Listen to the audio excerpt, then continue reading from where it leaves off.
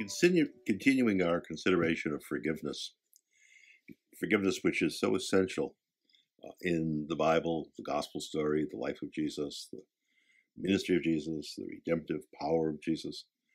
And we find that forgiveness is a theme that runs all the way through the Bible. And like it's a it's an essential element of the whole story of, of the Bible is this search need for forgiveness. And what happens when there is no forgiveness? Not just forgiveness uh, of God, so that we are separated from God by unforgiveness, by sin, uh, and how it separates us from one another with the destructive power of unforgiveness and anger. I want to go back and we're going to look at the foundation, the first book of the Bible. We say Genesis, Genesis being the origin, the source of everything else. Everything's going to flow out of Genesis. And the themes, uh, they're going to be picked up through the rest of the scriptures and all the other books, um, are um, presented to us in the book of Genesis, as they're all, they come forth in that book, and then they're kind of presented and they played out the rest of the Bible. Remember that Genesis is a book. It's not just chapter one of the Bible.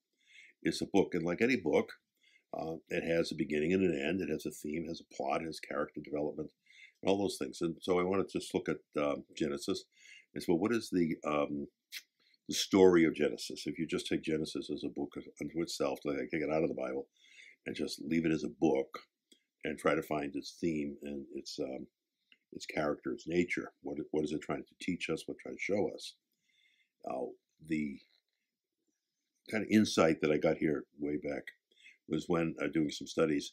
The most common word in the book of Genesis that's repeated more than any other word is the word conflict, struggle, contention. You know, there's this kind of tension between people um, and relationships and with God. So it's this conflict. And that's kind of played out in the book of Genesis. And I think that's, I realize that was an important word because that, that is sort of the, the groundwork that's going to uh, categorize everything else that happens in the scriptures. But where's the conflict? Well, you see it in Genesis. It's like generation to generation. It's just conflict after conflict.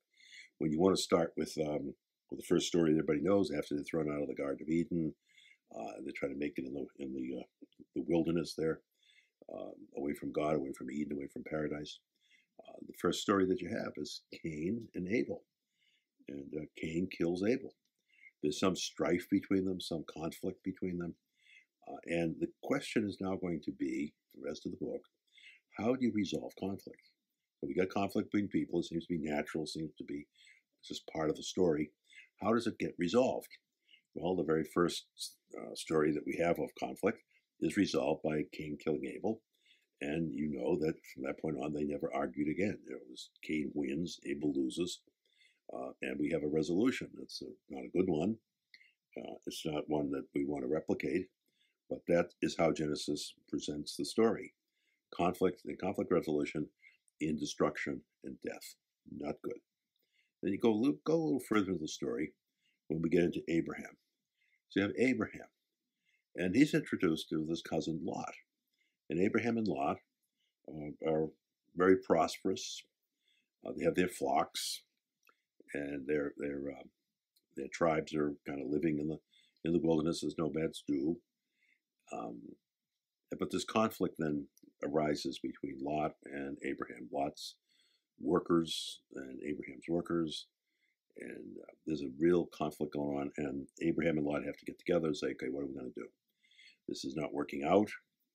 Uh, we're trying to um, maintain our flocks and our our, uh, our livelihood here, and we're not getting along. We're in constant conflict. So what's going to happen?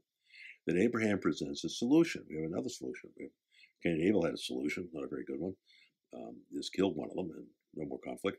But what Abraham is going to do is he says, well, let's separate. If you go north, I'll go south. If you go east, I'll go west. He says, you choose wherever you want to go, and I'll um, take the rest. So Lot chooses uh, to go off, and he settles in land which becomes later famous Sodom and Gomorrah. Uh, but they're separated. So there's another conflict resolution. We separate. we, we go our separate ways. We don't um, relate to one another anymore. Off you go. So there's some conflict. And then as you go further in the story, we have um, Abraham's wife, Sarah, and there's a slave girl, Hagar. And you read how they don't get along. They uh, uh, Hagar is very poorly treated by Sarah, the point where she's in tears. And eventually, uh, Hagar will be sent away. You know, just get out of the camp, get out, get out of here because you're you're source of conflict, and we can't get along. And the, and the source of that, the deeper story, is that they each had a son. You have Abraham uh, had uh, Isaac, and uh, through Sarah, and he had uh, Ishmael through Hagar. And the two boys don't get along. You find out that they're they're hurting each other. Ishmael's older, and uh, Sarah comes across a scene where Ishmael is uh, beating up on Isaac. He's abusing him in some way, and um, she complains to Abraham, and the conflict resolution comes to fore again by taking Hagar and Ishmael and throwing them out of the camp. You know, separation again, distance, go away. We don't want you. We can't. We can't live together. We can't work together. This isn't working out. Um, so you have Abraham and Lot. You have um, Sarah and Hagar. You have Ishmael and Isaac. And you go forward in the story. Then you have Jacob and Esau. They're fighting with each other in the mother's womb. Um, there's a conflict. Uh, when Re- Rebecca says um, that the, the, two children are fighting within my womb, they're going to be the death of me. Uh, and they're born, and there's a struggle as they're born. Uh, it's, it's, kind of, I don't know, humorous or not, but um, they're twins, and um, one starts to come out, and that's Jacob, and uh, the other one, Esau, pulls him back but the midwife had tied a string on the hand of the one who got first, Jacob, to see which one was going to be the first. But in the struggle, um, Esau is actually born first, but um, Jacob actually emerged first. It's kind of confusing there, but um, Jacob is the firstborn, and he has a conflict with Esau at a point where they have to uh, separate. And off Jacob goes, and it's the same sort of conflict resolution he's going to go off to a far land. He goes and he finds his uh, relatives in, in, a distant land, and he joins up with Laban, who would be a cousin or something. And in that, he meets Laban's daughters, and uh, you have uh, the story there of now we have Rachel entering the picture. He's very much in love with Rachel, but there's a sister Leah, and you know that between Leah and Rachel, the two sisters, there's going to be conflict and uh, there's a quite an argument in the end. Uh, Jacob marries both of them. Uh, Rachel f- had to wait until he married Leah, and then he has both of them, and there's a conflict going on there. Eventually, as it's almost like you could read it, uh, it's going to come. You could guess that Laban and Jacob uh, start to enter into conflict, and it's the same sort of conflict resolution. What are we going to do? Well, we're going to tell, or, or Jacob is going to pack up and leave. They have to separate. They have to go their separate ways. They can't get along. They can't make it work. Um, so is going to take his, his wife, his wives, his family, and his flocks. He's going to go to a distant land, and so off he goes. So you, have lost uh, another uh, family unity in all this. And Jacob is going to settle down eventually, and he has um, with Rachel and Leah. He has all the children. They've got the twelve tribes of Israel. They're the sons of Jacob and so you got all these sons are being born, and the last, not the last, but almost the last, the second last was was Joseph. Joseph is the key figure in um, the, the Genesis story. About one third of the whole book of Genesis is devoted to telling you the story of Joseph. So there's something obviously very important here. Back in the early church, uh, all the fathers of the church, whether it was Jerome or Augustine or Cyprian or um, Origen, they all wrote about jo- the Joseph story. They were fascinated with this Joseph story. They saw the Joseph story as sort of a key to unlocking some of the mystery of the Bible and uh, the ministry of Jesus. But Joseph was a precursor to Jesus. He was sort of a pre-image. He's the one who's going to foreshadow uh, Jesus, and he does that in many ways. But let's get back to, Joseph and his story. Uh, he's born, seemingly very gifted, um, he has the dreams, uh, and he tells his father about the dreams, and they're not going to be well received by the brothers because the dream is that he is going to be in the center, and the brothers are going to bow down to him and you know, worship him, but honor him, obey him, and he's going to be the the, um, the center, and they're going to be centered on him.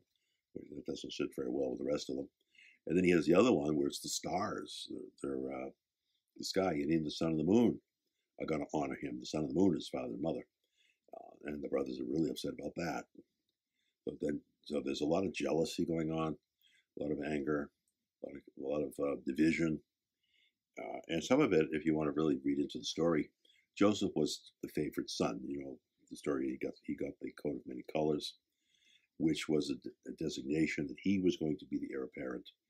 You had the uh, the God of Abraham, Isaac, and Jacob. Well, who's going to be the next patriarch? You got twelve sons. Which one's going to take it over? Uh, Reuben would be the oldest, so he should be the designated heir.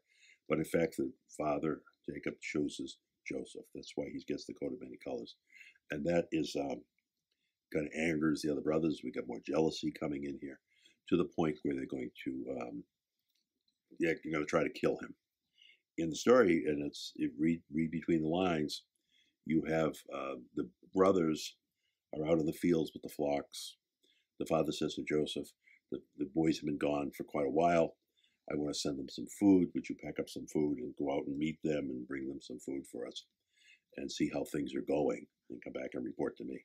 But what you see in the story is the brothers are all out in the fields with the flocks. Who's not out in the field with the flock? It's Joseph. He's home. Uh, and he didn't have to work or he didn't have to um, do the same sort of toil that the others did. It all feeds into that envy and the jealousy. Why he didn't work is probably because he was the uh, the heir apparent. He was the, the little prince, um, and he had the coat of many colors. Those coats have been in the Middle East. When you wear one of those long robes, one of the very first things you can't work. You're, you're kind of, you know, they're they're kind of uh, limiting you in your activity. You know, just dragging around a coat and you're in the hot sun and you're out with the flocks. First thing you do is take the coat off. So, so Joseph anyway is home. He's sent out to the fields uh, to find the brothers, and out he goes. And eventually he'll find the brothers. And uh, when they see him coming, all that jealousy and that rage and anger comes to the surface. They said, "Let's kill him. Uh, let's kill this man, and let's see what becomes of his dreams then." So they they decide to kill him. There's a little dialogue, conflict between the brothers, where instead of killing him and getting blood on their hands, they decide just to throw him into the pit uh, and let him die on his own, so they don't have blood on their hands. Um, later, there's a uh, the traders, the Ishmael traders, come and they end up selling Joseph. And this is the first you see of him imaging or foreshadowing Jesus because he's sold uh, for 20 pieces of silver. He's betrayed by his brothers for 20 pieces of silver. Um, and as Jesus would be himself, uh, sold for 30 pieces of silver. So he's um, he's sold into slavery. He goes down to Egypt. Um, he's a very intelligent young man. He ends up working uh, at House of Potiphar. A, a very um, astute young man. He climbs the ladder, and he ends up becoming the uh, the master of the house. He's the one who's overseeing all the work of the house and the finances of the house and the good keep upkeep of the house. Um, he's in a position of high responsibility where the prophet says to him, uh, You have the run of this house. You have anything but my wife. You take everything you want. Uh, I just trust you that much. But the uh, the daughter, I mean, not his daughter, but his wife, his wife, um, is kind of fallen in love with Joseph and tries to seduce him. But Joseph rebuffs her. And um, the wife doesn't like being rejected or rebuffed. So she says that uh, Joseph had raped her, and Joseph is then put into prison.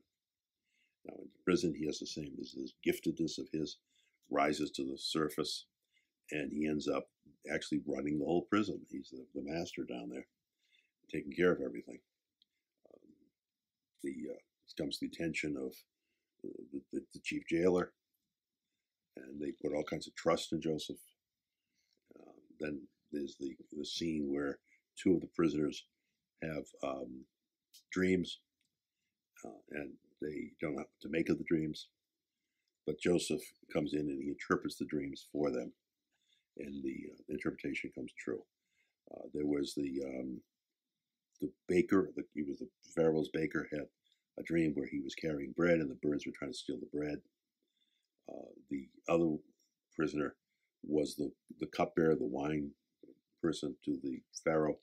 And in his dream, he was carrying grapes, and the birds tried to uh, steal the grapes. Um, and they don't know what to make of all this. And it was a very real dream, which just seemed so real. And Joseph interprets it. And for the one, the baker who saw the bread, and the birds trying to steal the bread, Joseph says, well, it's an obvious answer. It says, um, Pharaoh is going to have your head. You're going to die. You're going to be executed. Uh, and then the, the cupbearer says, oh my gosh, what about me? And um, Joseph says, no. He says, you will be restored to your service. You will be found innocent. And uh, of course, the, uh, the, the predictions of the, the interpretation came true. Um, when you look at the story, it's kind of interesting that you had two people uh, the bread baker one, and then the wine steward. Uses a foreshadowing of the Eucharist. You have the bread and the wine. And the man with the wine, which will become the blood of, in the image of the whole gospel, will become the blood of Jesus. He's saved. He's saved from death and restored to service. He is, he is saved by the blood of Jesus. Uh, the the one, the baker man, he was executed because the body of Christ represents the death of Christ. So you have the death of Christ and the suffering of Christ in the Eucharist uh, replicated in the death of this baker guy, and you had the um, the forgiveness of sin in the blood of Jesus replicated in the, the wine steward. So when the wine steward is restored to service, down the road there's a Pharaoh has a dream, doesn't know what to do with the dream, very disturbed, and um, that's when um, the wine steward says, You know, you have a man down in the prison. He's very good at interpreting dreams. You should get him. So Pharaoh sends for him as Joseph. He comes up, he interprets the dream. And that's the dream that we all know. It's the seven years of plenty, followed by seven years of famine. And Joseph says what you're supposed to do is during the years of plenty, is you save up the grain, and then in the years of famine, you'll have enough to get you through. And the Pharaoh is very impressed with that, puts Joseph in charge, of uh, collecting all this the, the, wheat and grain, storing it up against the coming famine. Um, and Joseph does a very, very good job at that. They have tons and tons of grain and wheat stored up. And then when the famine hits, Joseph is in charge now of distributing the grain. And because the famine was widespread, uh, people came from far distant lands to buy food from Egypt. And Joseph was in charge of that. Um, in the story, the brothers up in Canaan, they are experiencing the results of this famine. They're in bad straits. They said, they said, the father, we're not going to survive. We, we just don't have the, the food's not here. We can't feed the flocks. We, we can't uh, we can't make it. But it says, you know, there is rumors that down in Egypt they're giving out and they're selling grain. Let's go down to Egypt, and we'll buy some grain and we'll get get back here. We'll be we'll be okay. We can get through this famine. So the brothers take it on themselves to go down to Egypt to buy grain. They go in to Joseph, um, who's in charge of this whole thing, and Joseph recognizes them right away. He knows these are his brothers, and they're speaking the language of Canaan. They're speaking Arabic, or Aramaic, whatever form it was, and Joseph could understand them, but he doesn't let on. He doesn't let them know that he recognizes them, and they don't recognize him. He's speaking in Egyptian. He looks like an Egyptian. He's obviously changed. It's uh, some years later. He's grown up. Uh, he's matured, and he's dressed like an Egyptian. So the brothers don't recognize him, but he recognizes the brothers.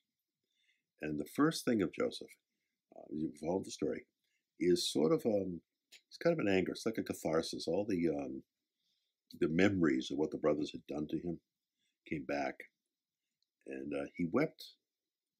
He really he wept and he cried, and the, the crying was sort of the uh, the memories just flooding him.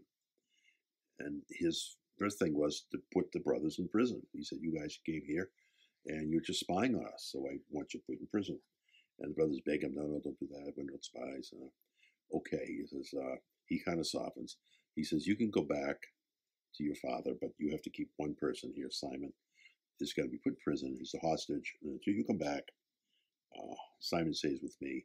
But when you come back, you bring, um, he said, you tell me you have another brother, which is Benjamin, which would have been closest. He's the actually only one who's a full brother to, uh, to Joseph, same father, same mother, bought of Rachel.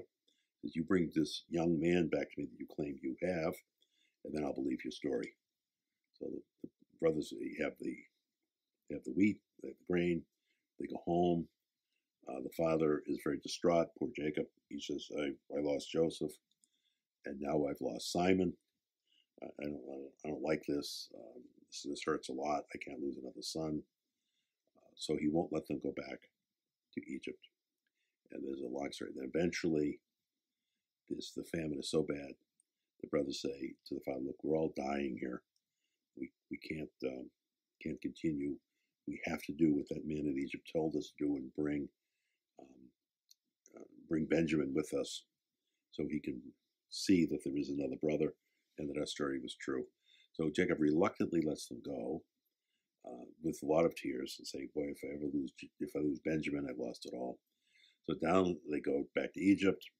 Joseph sees them. Benjamin's there now. Um, when he sees Benjamin, he cries, and I, I think in my own heart, He's weeping because he realizes God has heard his prayer. This prayer of his heart that he just seemed to be so impossible to ever get answered that he would be reunited with his family and with his brother Benjamin, who he loved very much. Um, and now here it is right before him. He's um, he, he, weeps, and uh, that's where he turns to the brothers, and he says, "It is I, it is Joseph, your brother." And the brothers are absolutely dumbfounded. They're just totally bowled over. Uh, they recognize him. He's talking to them now in Hebrew or Arabic, whatever language. Um, and they realize that it is Joseph. And their first thing, and this is the power of guilt. Guilt is a very important emotion. The first thing they said was, Oh my God, he's going to get back at us. He's going to kill us because of what we did to him. Uh, this is payback time. This is revenge time. So they're, they're really, really upset, scared. And then Joseph says, no, he knows what they're thinking, what they're saying. He says, No, I do not seek revenge. Um, I forgive you. I forgive you what you did for me. I forgive you because what you meant for evil, God meant for good. God had a plan.